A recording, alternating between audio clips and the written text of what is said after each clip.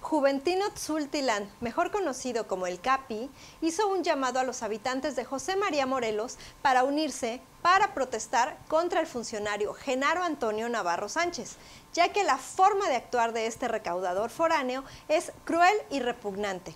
Solo vino a perjudicar a la gente humilde del municipio, que solo busca ganarse la vida. El afectado mencionó que hace poco más de tres meses inició la venta de machacados en su casa para poder vivir, cuando llegó esta persona acompañada de dos notificadores para exigirle el alta en Hacienda, cuando sus ventas no dan ni el mínimo para reinvertir. Zultilán aseguró que las amenazas llegaron a tal extremo que si no se daba el alta el mismo día, le aplicarían una multa hasta de 22 salarios mínimos, por lo que prefirió cerrar su negocio, al igual que lo han hecho otros microempresarios. Las multas por no contar con el alta de Hacienda van desde 2.500 pesos hasta 5.000. Eso para pequeños negocios.